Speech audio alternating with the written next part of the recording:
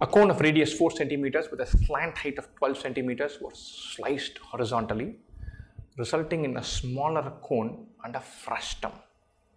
Right, so radius 4 centimeters, slant height 12 centimeters.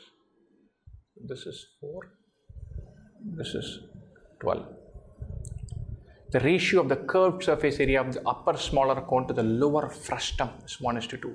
So we're cutting it somewhere here. This to this is 1 is to 2, but we're talking about only curved surface area. Or I'm going to flip this and then say the area of the top cone by overall cone is 1 by 3. Remember, because it's only curved surface area, we can plug this in, but otherwise, this small tiny circle that's there that will get added on. So you have a curved surface around this, curved surface around this.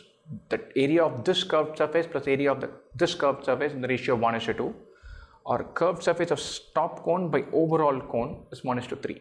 This where x, this alone is 2x. x plus 2x is 3x, 1 by 3. Right? Think about this. Area of the curved surface is pi rl.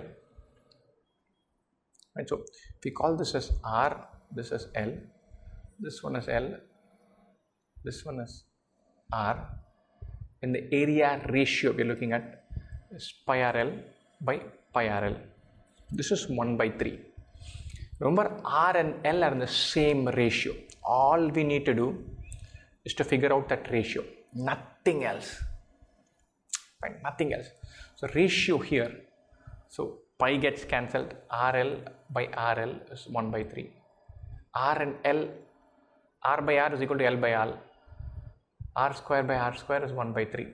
Or R is R by root 3. That's all we need to do. The question is, what will be the slant height of the frustum? So this is 12. Slant height of this part, again similar triangles, overall is 12. So this slant height will be 12 by root 3. So the remaining slant height is 12 minus 12 by root 3.